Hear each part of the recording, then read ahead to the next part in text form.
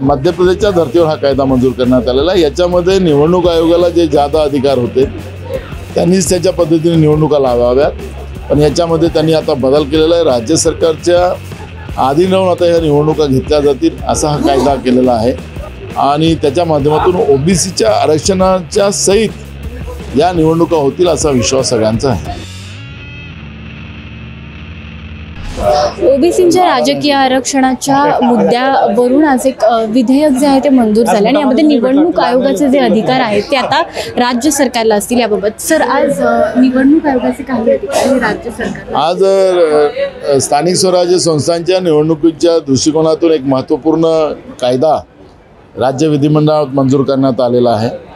त्या कायद्याच्या अंतर्गत मध्य प्रदेशच्या धर्तीवर हा कायदा मंजूर करण्यात आलेला आहे. याच्यामध्ये निवडणूक आयोगाला जे जादा अधिकार होते त्यांनीच त्यांच्या पद्धतीने निवडणुका लावाव्यात. पण याच्यामध्ये त्यांनी आता बदल केलेला आहे. राज्य सरकारच्या आधीन राहून आता ह्या निवडणुका घेतल्या जातील असा हा कायदा केलेला आहे. आणि विशेष करून ओबीसी आरक्षणाचा जो प्रश्न आज निर्माण झालेला आहे त्या ओबीसी समाजाला या माध्यमातून न्याय मिळावा आणि जी काही वेळ आम्हाला पाहिजे होती ती वेळ आता मिळेल. आणि त्याच्या माध्यमातून ओबीसीच्या आरक्षणाच्या सहित या निवडणुका होतील असा विश्वास सगळ्यांचा आहे.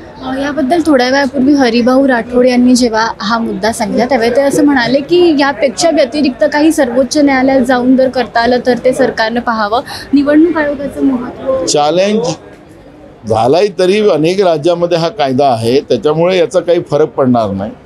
त्यामुळे हा कायदा आज एकमताने पारित झालेला आहे.